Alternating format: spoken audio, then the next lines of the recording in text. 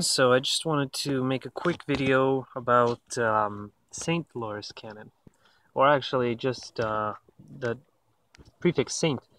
And the idea is uh, that um, sainthood has traditionally only been given uh, after a person is dead, and um, so they are in spirit, right? And uh, Dolores Cannon is dead and well, she did a lot of good stuff.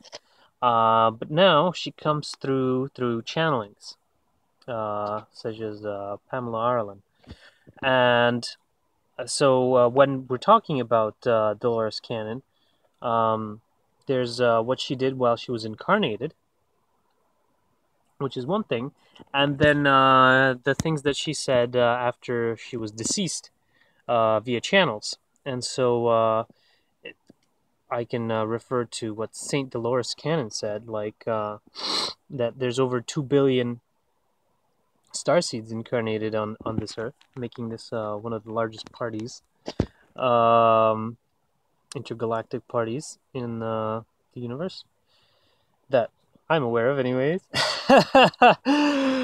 so yeah, uh, good fun times. So um, it's just an interesting way of uh, using the saint prefix. I mean, so I guess it could be like Saint Yeshua for Jesus and uh, Saint uh, and Saint other stuff. Uh, this is just kind of like taking away the verb uh, from the Catholic Church and using it as um, something functional, uh, something that uh, anyone can use just whenever someone is uh, channeled.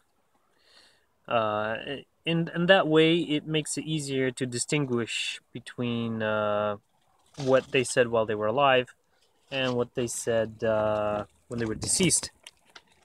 Because when someone is deceased, they have kind of a different perspective on everything. And, um, you know, it is different. All right. Okay.